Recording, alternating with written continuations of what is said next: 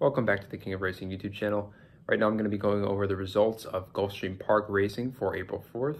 I went over earlier in the day over my picks of the horses that I thought would perform the best in each and every race at Gulfstream Park today. And right now I'm going to be going through the horses and how they did. So with the first race, uh, maiden claiming race, five furlongs, it was uh, the number nine horse for Marsac was the horse that I picked, and that horse uh, came in first place, paid $2.20 for win, uh, $2.10 for place, and $2.10 for show.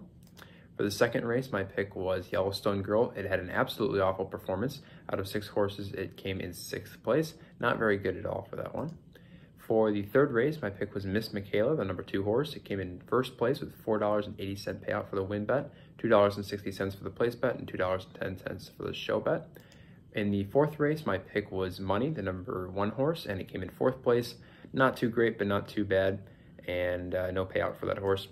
Maiden claiming race number five, I picked Wildcat West, and that was the number six horse. It ended up coming in first place, paying $12.40 for the win bet, 660 for the show, excuse me, 660 for the place and 380 for the show. Race number six of the allowance race, it was a pick for the number five horse, Crystal Coast, came in fifth place out of six horses. Not a very great performance at all. For the number seven race, my pick was Spinning Kitten. It came in third place as the number six horse and paid $2.80 for the show bet. And for the number eight race, my pick was the number five horse, Shell Phone. had another terrible performance and it came in ninth place out of nine horses.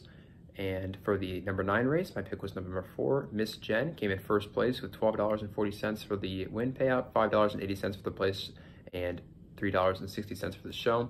And finally, for the last race, my pick was Una Luna, picking come in 360 for show and came in third place for the entire race.